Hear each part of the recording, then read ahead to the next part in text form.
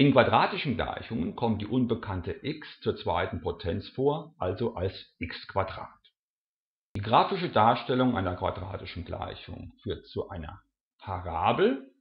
Auch viele physikalische Phänomene folgen einer quadratischen Gleichung, wie man an dieser Wurfparabel sehen kann. Kenngrößen einer Parabel sind der Scheitelpunkt DE und die Nullstellen x1 und x2. Während jede Parabel einen Scheitelpunkt hat, gibt es bei den Nullstellen die Möglichkeit einer, zwei oder keiner Nullstellen. Es gibt drei grundlegende Möglichkeiten, quadratische Gleichungen darzustellen. Wir haben einmal eine Form, in der der Scheitelpunkt de vorkommt, die Scheitelform. Wir haben eine Normalform y gleich ax plus bx plus c. Und wir haben eine Form, in der die Nullstellen vorkommen y gleich a mal x minus x1 mal x minus x2. Alle drei Formen sind gleichberechtigt und selbstverständlich können wir eine in die andere Form umwandeln. Diese blaue Parabel hat den Scheitelpunkt 5 minus 9 und die beiden Nullstellen 2 und 8. Die Scheitelform der Parabel würde also lauten y gleich x minus 5 zum Quadrat minus 9. Die Form mit den Nullstellen würde lauten y gleich x minus 2 mal x minus 8 und die Normalform würde lauten y gleich x minus 10x plus 16. In der klassischen Normalform haben wir drei Summanden auf der rechten Seite. Der Faktor vor dem x ist typischerweise eine 1. Den Faktor vor dem x nennen wir p, hier also minus 10, und den Faktor ohne x nennen wir q, in dem Fall also 16. Aus den Faktoren p und q können wir eine sogenannte Diskriminante ausrechnen. p minus 4q. Wenn diese Diskriminante größer ist als 0, haben wir zwei Nullstellen der Parabel. Wenn die Diskriminante gleich 0 ist, haben wir nur eine Nullstelle und bei d kleiner 0 haben wir keine Nullstelle. Wie können wir die Nullstellen einer quadratischen Funktion ermitteln? Wir formulieren unsere Gleichung um. x gleich 10x minus 16 Grafisch gesehen haben wir auf der linken Seite jetzt eine Parabel, blau gezeichnet, und auf der rechten Seite eine Gerade, rot gezeichnet. Die Lösung dieser Gleichung entspricht den Schnittpunkten dieser beiden Graphen. In unserem Beispiel bei x gleich 2 und x gleich 8. Man kann die Nullstellen selbstverständlich auch rechnerisch ermitteln. Dazu verwenden wir die Methode der quadratischen Ergänzung.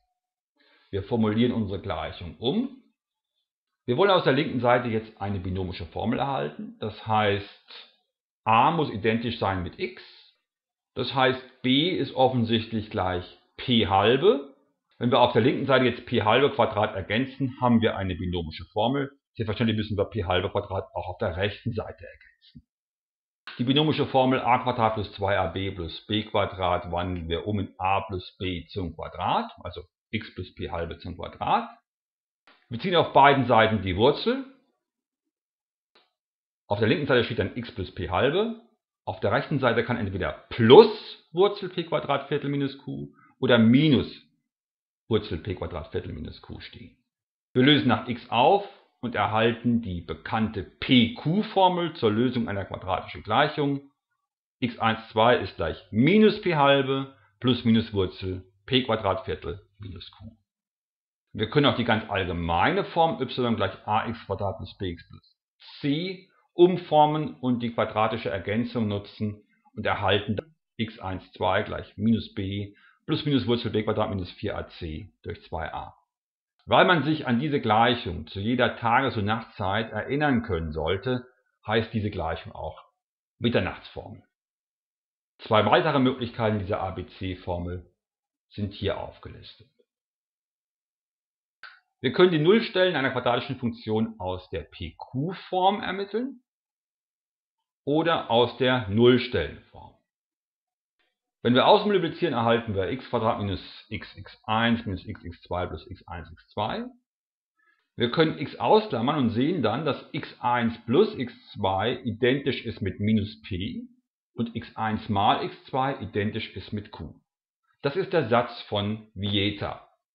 Mithilfe dieses Satzes kann man in einigen Fällen die Nullstellen einer quadratischen Funktion sehr schnell ermitteln. x minus 7x minus 8 ist gleich 0.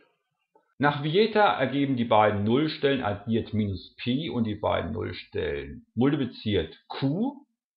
Minus 1 ist eine Nullstelle dieser Funktion, wie man sehr leicht durch Probieren erkennen kann. Die andere Nullstelle können wir nach dem Satz von Vieta ausrechnen. Entweder sagen wir x1 mal x2 ist q, also ist die andere Nullstelle minus 8 durch minus 1. Oder wir sagen x1 plus x2 gleich minus p, also ist x2 gleich 7 minus minus 1 gleich 8. Wenn wir zwei Widerstände parallel schalten, dann addieren sich die Kehrwerte dieser Widerstände zum Kehrwert des Gesamtwiderstandes. Nach den Rechenregeln der Bruchrechnung können wir 1 durch R1 plus 1 durch R2 auf einen Bruch schreiben. R1 mal R2 ist der gemeinsame Nenner. Der Kehrwert dieses Bruchs ist der Gesamtwiderstand. Wir haben einen Gesamtwiderstand von 0,375 Ohm und der Widerstand R2 soll genau 1 Ohm größer sein als der Widerstand R1. Mit dieser Gleichung können wir jetzt den Gesamtwiderstand 0,375 als Funktion von R1 ausrechnen.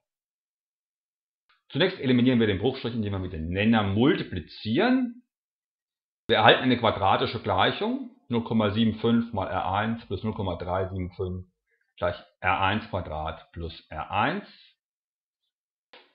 Wir stellen diese Gleichung um und erhalten nach Multiplikation mit minus 1 die Normalform der quadratischen Gleichung.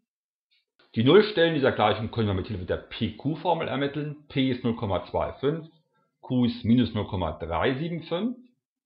Wir setzen ein und erhalten mathematisch die beiden Lösungen minus 1,25 plus minus 0,625 Ohm.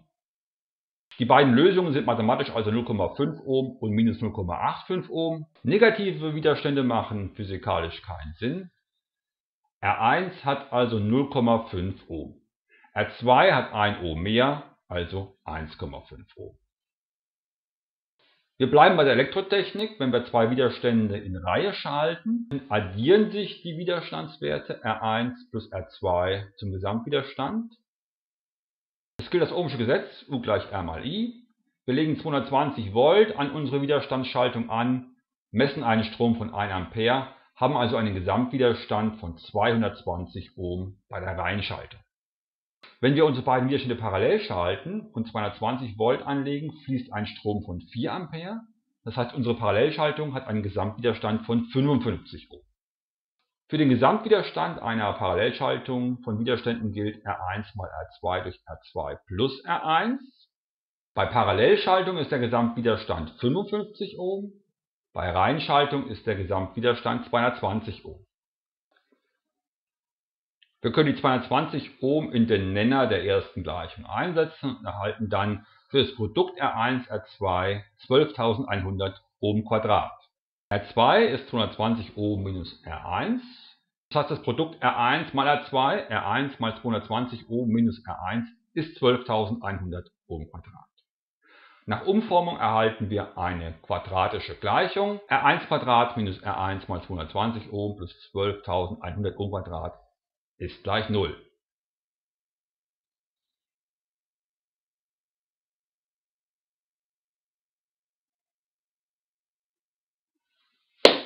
P ist also minus 220 Ohm, Q ist 12.100 Ohm Quadrat. Wir wenden die PQ-Formel an, errechnen für R1 entweder 100 Ohm oder 120 Ohm. R2 war 220 Ohm minus R1, also entweder 120 Ohm oder 100 Ohm.